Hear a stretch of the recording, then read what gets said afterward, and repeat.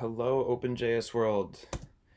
My name is Ethan Arrowood, and welcome to my talk on applying advanced TypeScript definition patterns.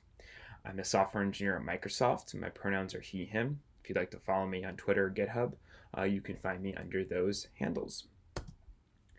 So today's talk is going to be about Fastify and its new type definitions. Fastify is a Node.js web server framework. We are a part of the OpenJS Foundation, and we are open sourced. Today, we're going to be covering um, five patterns, but we're going to be doing so in three parts. So the first part is going to be covering discriminant unions and function overloading. The second part is going to cover named generic parameters. And the third part is going to cover declaration merging and generic inference. Um, we're going to be doing this through a sort of a code walkthrough. We're going to be building these type patterns um, from scratch over a simplified uh, implementation of Fastify. You can check out the source code on GitHub. I'll have a master branch which will have all of the completed code as well as an initial branch that'll have the you know where you know the starting point if you'd like to follow along um, as well. All right, and welcome to the coding portion of my presentation. Um, as I mentioned before, there's going to be three parts. So the first one is going to be handling discriminant unions and function overloading. The goal will be to implement the types that'll help uh, define the right options objects to determine which node server should be returned when calling the fastify function. Part two is going to handle a named generic parameter. And this is going to be all about how we decorate the request object with you know four different properties and only have to specify the ones that a user expects to be passed to the request object. And finally, for part three, we're going to be covering declaration merging. In this case, we have two methods of modifying the local, uh, the local instance where this server, this Fastify server, you can decorate with you know unique values. You can also provide plugins that have access to that instance and can also do things like decorate the instance with um, custom properties. So we're going to use declaration merging to implement a plugin system of sorts. We'll, do, we'll take a quick peek at the types. So this is going to be our goal today, is going to be converting all the types to see what you see here. But we're going to do it, we're going to take it line by line and explain as we go. And we're going to start here with the initial Fastify type file. So you can see that the, fun the function down here takes in an options object that has you know three optional properties, and it returns a, a, Fastify instance. This Fastify instance has a single property server that returns you know one of the four Node.js server types. We can take a quick peek at our implementation, and you can see that the goal here, you know, using that final type doc, we can see that we want the server to be unique based on how it's instantiated. See how this is an HTTP HTTP2 server, and this one is secure, and this one is regular HTTP. That is because when you you know call that fastify function, we're passing in different sets of options, and we want the the type system to be uh, smart enough to determine which version of fastify to return here. So going back over to the types, we see that we don't currently get that. Let's quickly switch our um, part one over to the different types and see what happens instead. So we'll call this init, and we'll see that now the Fastify instance is always the same. It's always Fastify options, and that server is always going to be server union. Not ideal. So let's fix this. Start by renaming that back. We'll go over to this file and we'll rename it as well, just to Fastify types. Now, we're going to start by impl implementing the discriminant union over the Fastify options. We're going to need four types. Fastify HTTP options, the Fastify HTTPS options, and then we're going to need the two and the two secure. Now, for the HTTP options, we're going to go ahead and we're going to copy over that secret property. And we're going to keep it as optional because any one of these four can have this property. And the way we're going to do that is by using a intersection where we're going to intersect the other three types with that base type. So this is a sort of inheritance model where all three of these other types are all going to include everything in this type and then whatever is specified on their own. So let's start with HTTPS. We're actually going to take this property here and we're going to use those base server options. And we're going to make it required now. This means that this type will only ever be possible if the user defines this property and only this property. And that's the power of discriminant unions. So let's take a look at how you know this feeds into the HTTP2. Instead of it being Boolean, we're actually going to go ahead and use a type literal of true. So now the user will get this options object if they've specified only HTTP2 option and only specified it as true. And then for the secure version of the HTTP2 server, we're going to use that true again, and we're also going to use the HTTPS options. So it's sort of like an AND operation, where if it's both of these properties are defined, we know we have a secure server. And we're going to go ahead and change this type to that HTTP2, and we're going to make it the secure server options. So let's go ahead and remove this interface. And we're going to have to update that down here. So now in this function, we're going to copy it four times.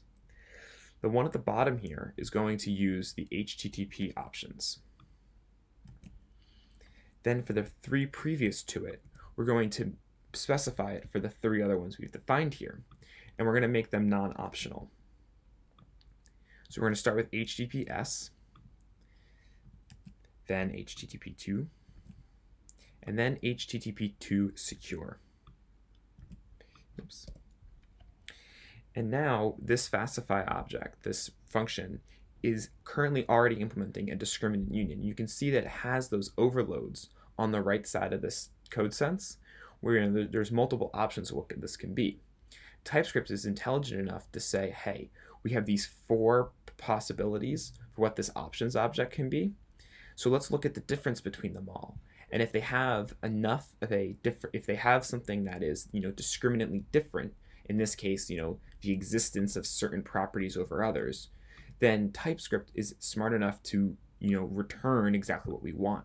So now let's use that to our advantage to make sure that we specify the specific types, you know, the specific node server based on the different kind of options. So we're going to add a generic here called server. It's going to extend from that server union that we've already written. And then instead of that server being defined as, you know, any one of these four, it's going to be whichever this generic is.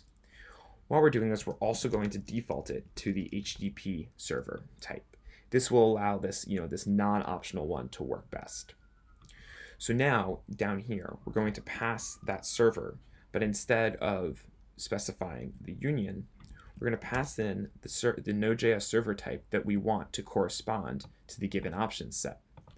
And TypeScript will respect this generic parameter as a part of the overload and will return the Fastify instance with the node server that we want specifically finally HTTP server. Great. So now if we jump back over to part one, we'll see that we're still using our new types. And if we hover over these, you'll see that not only are the options now you know, specified based on what has been passed in, but the server types are as well. And now we've achieved part one, discriminant unions and function overloading. Now on to part two. So in part two, we're going to talk about named generic parameters. So see here, we have our server. And in the previous section, we were able to make you know the server based to be a specific kind of Fastify instance based on the options passed to it. But now we want to make something unique out of this these, this get property, where it's going to be a route handler common to many HTTP server server frameworks, where you pass in a path and then you pass in some set of handlers. In our case, we're going to have two handlers. We're going to have an options object that allows you to specify a pre-handler, and then we're going to have that third argument on our you know overall get function that lets you specify the route handler itself. And the idea here is that if this pre-handler doesn't return true, then this one won't run. But what's unique here is we want to consider that this request object, we want it to inherit the, the, the same headers and query that we specify in this object, in this generic here. Um, but furthermore, this generic needs to be sort of dynamic where if a route that is someone is creating only has headers, we want them to be able to only specify the headers type and not have to deal with the other types. In fact, this one is going to be so powerful that it's going to contain the types for things like body as well, which you know doesn't exist on a GET request, but if you were to go ahead and create a server.post request, you would want to have the body type on there as well. So we'll go ahead and pretend that we're doing that as well. So you can see here, when we'll call our function, put that object in pre-handler, request response. We'll put the request.body here, and we're going to go ahead and make sure we pass in that final function request response. And we'll check out that request.body. And you can see here that body now contains that string. So great. How do we do this? Let's jump back into our definition, definitions. Before we do that, let's change this comment over so you can see things are failing. But now over here, let's take a look at the Fastify instance. The Fastify instance is what contains that get and post function. So let's go ahead and write that. We're going to do get. We're going to call this Fastify route handler. Then we'll do post. say Fastify my, my, my mistake, fastify route. So let's go above, let's go above these types. We're gonna go, go ahead and write type, fastify route. And this is gonna be a function that's going to take three properties. The route, which is the string, the options, which we're gonna call fastify route options, and then the handler, which we're gonna call fastify route handler and we know this is going to return void. So keep in mind, so now let's let's take one step back. We realize now that we're specifying things like um, the get and the post at this level. And we talked about that generic before. So how are we going to pass that generic through to these functions? Well, instead of putting it on the type itself, we're actually going to put it on the function that it, that it corresponds to. And we're going to call that R. And this is going to extend from something called the request generics, generic. And it's also going to default to the request, oops, generic. With that, we're going to go ahead and define this type, request generic equals, and we're going to go ahead and specify the four properties that we have. Headers, it's going to be all four are going to be unknown. Query, params, and the body. And then we're going to take that R, generic, and we're going to pass it through both of these pieces. So next, we're going to start with the Fastify route options, because that's an easy one. We're going to say Fastify route options. We're going to have that generic R, and we're going to copy over the same constraint um, as the previous one. And you'll see here that the type now exists on the type itself and not on the inner piece. And that's because the user won't necessarily have to pass this in themselves every time they use it.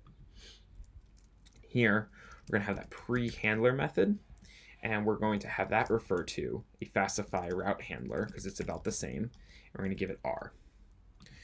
And then finally, we're going to type the fastify route handler which again is a function.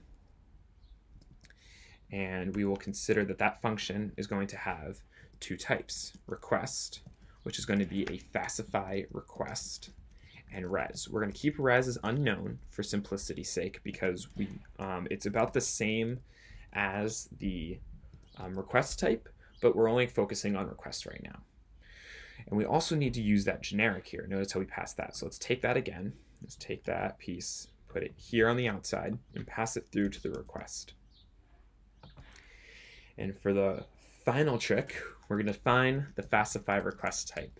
So you can see how we really break this up so it makes it really extensible. We're going to pass in R here again. So we'll copy that over. And now we notice that Fastify request is an object. And now this object is going to have the corresponding four properties, headers, queries, and parameters. So take a quick, taking a quick look back at part two, you'll see that we just call them the same thing but lowercase. But we want them to correspond to whatever is in the generic. So here, remember that the generic is referred to as R. We're going to go ahead and call the headers property, and it's going to be R headers. Then the query property is going to be R with the query string. Params is R and params. And then finally, body is R and body. So with all of that implemented, we can go back to part two and see how, how we've done.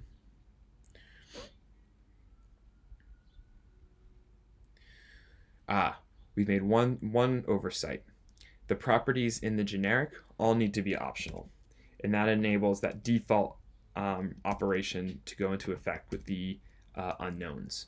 So what? So the difference is is here we've made these all optional now, and they'll default to unknown through this sort of you know generic constraining and defaulting. So when R is specified as only you know an object containing that headers prop, then it'll only set that one here it'll set the others, but it'll default the others to whatever that default is here, which again is just unknown. Um, it's a little bit of a like very much shared interface experience, but it turns out to work really well and work out in our favor because, as you can see, the headers correspond to the type defined here. And thus concluding part two, implementing named generic parameters. All right, so here we are in part three, and we are going to be covering uh, declaration merging and implementing a plugin system for our Fastify instance.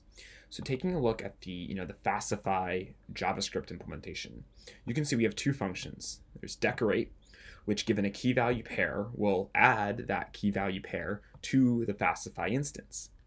And then we have the register function, which given a plugin and an options object, we will apply the, you know, the the, the local Fastify instance to that plugin with its options. This, uh, this methodology of like a plugin system will allow the plugins to call things like this dot decorate. But from a TypeScript perspective, you know, plug, plugin or not, calling this dot decorate is going to be, you know, a little difficult. While we could add a type to our server to say, you know, um, you know, any additional property could be of type any, it doesn't really solve much for us. But instead, if we had a, you know, a file like we do here, where we're calling, you know, our dot decorate on our server, in that same file, we can actually write a declaration merging for our Fastify instance with that with that value. And you can expect it to be here as string. But as a part of this section, I also want to show a little bit of the magic that we can do with plugins and a little bit of generic uh, inference. So let's take a look at our Whisper plugin. Uh, first, we'll say here, in our implementation, you can see that we're registering the Whisper plugin, and we're passing it the local secret that we've set on the line above. So keep in mind that Fastify will take this plugin function and will pass it the instance Fastify server, as well as this object here with the specified options. So taking a look at our plugin, we can see that all it does is call dot .decorate on that instance, and it and then it you know whispers the secret. So we can take a look at the final TypeScript definition again before we write it ourselves, and you can see that we have that Fastify plugin interface as well as those two methods. So let's write it ourselves and explain it as we go. In Fastify uh, type definition file, we're to start with that decorate uh, method. It's pretty easy to implement. Pass it a key, it's a string, and a value. In our case, we're just to use any. You could probably use um, unknown here and make the user specify exactly what that value is during runtime to make it a little bit better. But for all intents and purposes, any should be okay here. Then we're going to have that register function. Now remember, that register function gets a plugin. And that plugin we're going to call Fastify plugin. And then the options is going to be plugin options. And we're going to have this function just return void. So we can see here that this, you know, the idea is this plugin interface is probably going to also require that plugin options. So let's make plugin options a generic for the register function. And we're going to pass it here. So this is one of my favorite tricks in TypeScript, where we have a generic defined for this function register, but we've also specified it here as well as here. So let's write the Fastify plugin interface. We're going to export this one as well because we're going to use it in our Whisper plugin definition file. Call it Fastify plugin. We're going to, you know, it's also going to have that plugin options interface. And this interface um, is going to just return a function. That function is going to contain the instance of Fastify and the options. And it's going to return void. You'll notice that we're not doing anything with the server generic for this Fastify instance, and there's a reason for that. Um, it, it it's a there's a longer uh, reason, but the short version of it is when you when we have a plugin system like here, the plugin author won't know what type of instance is going to get passed here. It could be anything. It could be HTTP, HTTP2, HTTPS. If their plugin doesn't care what kind of instance it is, then neither does its type. And if its plugin does care what kind of type the server is, then we probably will have to handle that logic from within the plugin. And there's a longer conversation that we're currently having on, you know, how can we improve this sort of type to enable that extensibility. Um, but going back to this plugin options generic, if we were to define an instance of this interface here and pass it this plugin options generic, it'll then pass that itself here as well. From the perspective of the register function, if we pass a, a, a, type uh, implementation of this interface to this plugin property, TypeScript will actually figure out that the plugin options generic that is defined in the instance of this interface is going to be the same as the one here. And you don't need to write it twice. So what does that all mean? We go to this Whisper plugin definition file. And just like the previous one, we're going to export this constant um, variable, Whisper plugin, which refers to Fastify plugin. And we're passing in that, you know, our options object here. In this case, it's secret string. Taking a look at that implementation now, when we import Whisper plugin, you know, Whisper plugin is of type Fastify plugin. And if you remember, register takes in, you know, that first option is a Fastify plugin.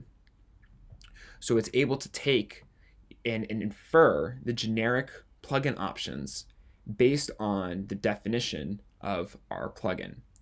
Um, I know that can be a little confusing, so I hope uh, this code snippet um, showed that.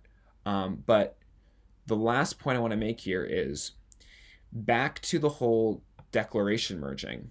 When you have something like the Whisper plugin that is, you know, adding a property to Fastify, let's go ahead and, you know, while we're saying this, change these comments over to the new implementation. And we can see that we are extending that Fastify instance interface with that Whisper secret. Now, it shouldn't be the implementation's job to do it.